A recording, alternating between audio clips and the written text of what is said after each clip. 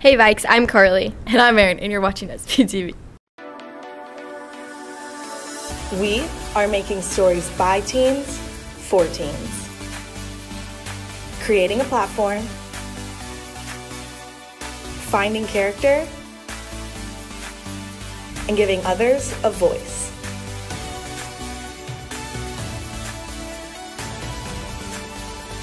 This is SVTV. Let's go check out a Would You Rather segment with Syndi and Lauryn. We're going to be asking people would you rather questions. Let's go check out what they said. His hair. I think the short hair would look cute on me. Teeth, I guess. I'd rather have my grandfather's hair. It depends on if the Mandalorian's on. Mmm, Disney Plus. Disney Plus. Water. Oh, it's got to be fire. Water. Aliens. Robots. Aliens.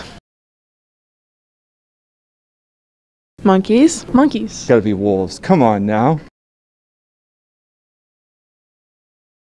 Watch the movie. Read the book. Movie.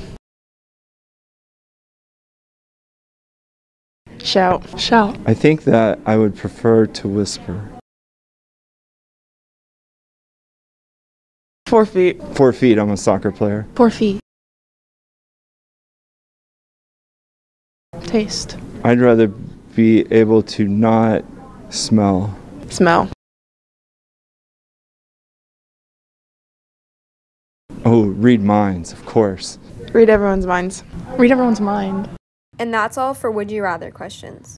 Now, onto your announcements. Seven Seaman students received 11 awards at this year's Scholastic Art Competition. Congrats.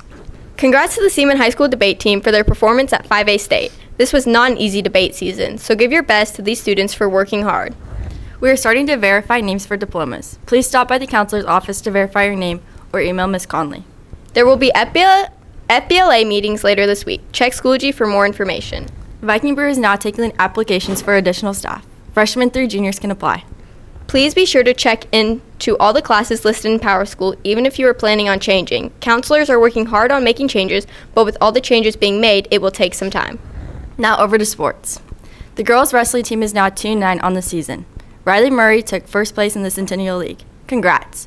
The boys' team has a record of 216. Keep working hard. There will be a softball infor- informational meeting regarding preseason conditioning on Tuesday, January 19th in the band room from 3:23 to 4:03 p.m. In-person conditioning begins today on the soccer field from 4 to 5. Dress form. Now, over to weather with Zoey. Good afternoon, Vikings. We are going to be in the 50s for the next couple of days. Today is National Popcorn Day, so make sure to watch a movie tonight while eating popcorn.